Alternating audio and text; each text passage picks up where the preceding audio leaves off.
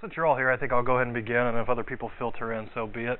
What I'm going to be talking about today is thinking about contrasting pedagogical strategies for implementing TurningPoint in small class settings versus large lecture halls.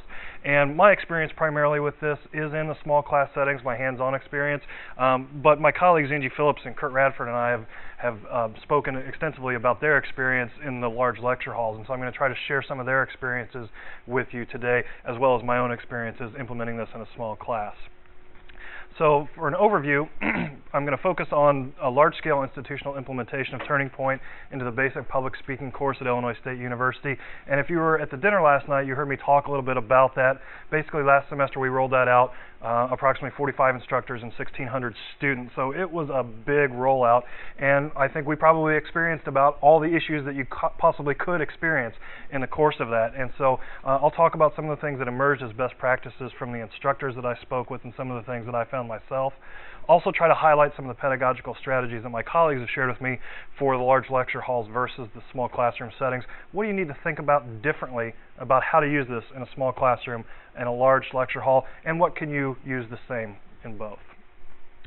So my experience with this was it was implemented in fall of six, and, and I was kind of the liaison um, between our technical support folks and our instructors of COM 110. So I was on both working on both sides of that.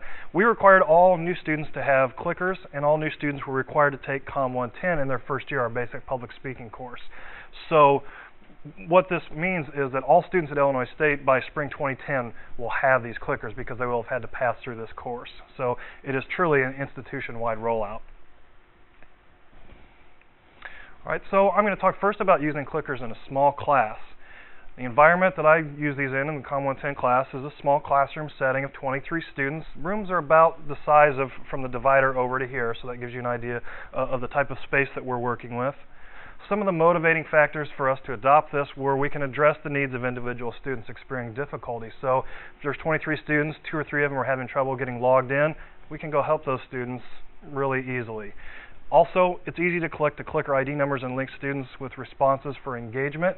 Um, in the first rollout of this, we didn't have a way to centrally collect all of the clicker ID numbers, which is something that is changing now, obviously, and, will soon um, be centralized, and you'll have a number of different ways to do that. So for us, it was an issue. For you, in the future, it probably won't be an issue. But it, it's very easy to pass around a sheet of paper and have 23 people write their clicker ID number and then go import that. So that was easy for us to implement. Some of the inhibiting factors, we have the ability to address needs of individual students experiencing difficulties. So I put this as motivating and inhibiting. When you're in that smaller classroom, the students expect you to know everything about everything in the classroom. And so even for the instructors that you know, just had the training of this and hadn't used it before, they were expected to be able to help the students. So for some of them, that was a little bit stressful. So for those of you that are here, it's probably not going to be as stressful because you've gone through this and you understand how to use clickers. But for some of your colleagues that you may be trying to sell on this technology, this could be something that could be an inhibiting factor for them. Maybe uh, they would feel nervous about not being that comfortable with helping students with the clickers. Uh, also, in the small class, it may not be as much of a time saver as using clickers in a large lecture situation. So if your primary focus is to use these clickers to accumulate grades and combine those together, it will still save you some time with 23 students as opposed to having to do pen and paper with that, but it's not going to save you nearly as much time as it will in a larger classroom setting. So that's something to think about in terms of using those for a small class. So some of the best practices that emerged from our first semester implementation, these are things that I found and things that the 45 or so instructors under me mentioned to me about what they liked most about using the clickers and some of the best practices of those. First, we decided not to use the clickers for evaluation in the first semester. So we didn't do quizzes, we didn't do tests, we didn't do attendance. These are things that students get very stressed out about when it comes to technology. And so if the technology isn't working or the students don't feel comfortable with the technology, they get jumpy and they get worried about these sorts of things. So first semester we thought, let's make the students comfortable with this technology, let's make the instructors comfortable with this technology, let's lower the stakes a little bit and allow for more margin of error when we have devices that may not work or batteries that might be dead or, or any of those sorts of things. So we didn't use them for evaluation, just for engagement. The engagement we used, comprehension checks on concepts covered, I think that's multidisciplinary. I think that's something that everybody that uses these can use them for. You ask the students sample questions to see if they've comprehended that. You look at the results. If the results indicate that they know it, you can move on. If the results indicate that they don't know it, then you know as an instructor you need to revisit that, spend a little bit more time talking about those particular things. So that's very useful in helping your students understand the material and helping you pinpoint what they don't get before you test them on it. They miss it on the test, and then you move on. This allows you to actually build that knowledge at that point in the semester and then allow them to build on top of that later and pinpoint that earlier than the exam. The second thing we use them for is a demographic audience analysis, and this is probably going to be more discipline specific uh, as to what your class is. But in the COM 110 class, the public speaking class, we hammer home the idea of you have to tailor your message to your audience. And we, since everyone has to take the COM 110 class, we talk about basic critical thinking ideas and basic relating to other people. So it's kind of a core development class for for uh, students to be able to function in other classes. And so we're able to ask a number of demographic questions to let the students know who's in their class to help them target their message to their audience. Do they have a lot of transfer students in the class? How does this affect the examples they can use in their speeches? Are they all freshmen in the class? So what experiences can they draw from and talk about that? Do we have a diversity of people in the class? If so, what types of language might we need to think about being offensive to other people that isn't offensive to us?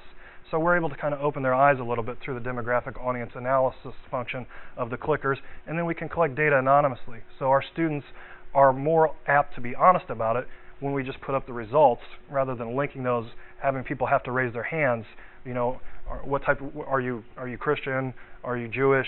You know, is Hindu your religion? Instead of students having to raise their hand and self-identify, we can just put those up anonymously, which I think gives us a much better picture of who our audience is and takes a lot of the stress out of people having to raise their hands. Audience perception of student topics is something that I spoke about last night at the dinner, finding out whether the audience perceives um, your, your, persuasive speech to be something they agree with or something they disagree with. We also use this for our informative speech assignment, where the students just construct an informative speech telling the audience about a certain topic or a certain concept. And we use this for basic knowledge. We have the students share their topic, and then we have the class vote on how familiar they are with that topic so they know how basic they have to go with their presentation. And then the thing I'm going to talk about at the end of my presentation today is student evaluation of clicker use.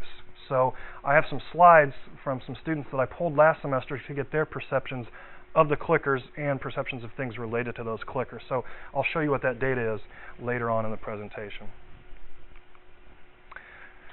And the recommendation we have is for you, if you're adopting this or trying to persuade others to adopt it, to do at least one semester of just the engagement functions of this prior to the assessment. And in one of the large lectures uh, that I'm going to talk about, it was a large biology lecture of about 300 students, and they jumped in feet first first semester, wanting to associate quizzes and associate all sorts of things with that, and they ended up having to spend an entire class period just addressing the needs of students with the clickers, having the students get familiar with logging in because the students were just having difficulty with the manual logging in process. So it's very useful as an engagement tool, very useful for these things here that I've talked about in our course, and, and, I, and I would imagine in yours as well, getting familiar with it and taking the stress out of it for the students for one semester we found is something that made students in our classes a lot more comfortable with the technology than the students in the classes that jumped in feet first. So if you've, if you've already done this and are familiar with it, this probably doesn't apply to you, but if you're thinking about persuading others to do it or how to do it, it might be a helpful thing to recommend to them the large lecture course that I'm going to talk mainly about was our COM 161 class, which was a media writing class.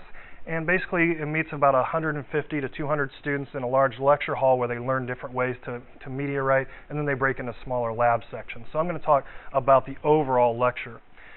So there's the environment, about 120 students. All right, motivating factors, engagement. You know about this. If you're in a lecture hall, your students are sleeping, they're reading the newspaper, they're doing something else. Making them answer questions periodically throughout the lecture helps them stay engaged, helps them stay focused, and again, you can get that instant feedback from the large group of people. Some of the inhibiting factors, collecting the IDs, I talked about that a little bit. Obviously, 23 students is manageable. This many students can be difficult. The centralization of these IDs, though, is something that's going to take care of that. But changing or forgotten device IDs, they forget to bring it to class, they'll complain about it. I say That's part of being prepared for class. You have to bring this. If you don't bring this, it's like you're not here because you're not participating. You're just sitting there passively. But it, sometimes it's difficult to tell young students that and have them accept that. So just institution, uh, institutionalizing that, putting that in your syllabus, you need to bring this every day, we found is very helpful. If you just tell them, then they can say, well, you know, I don't have one or I didn't bring one.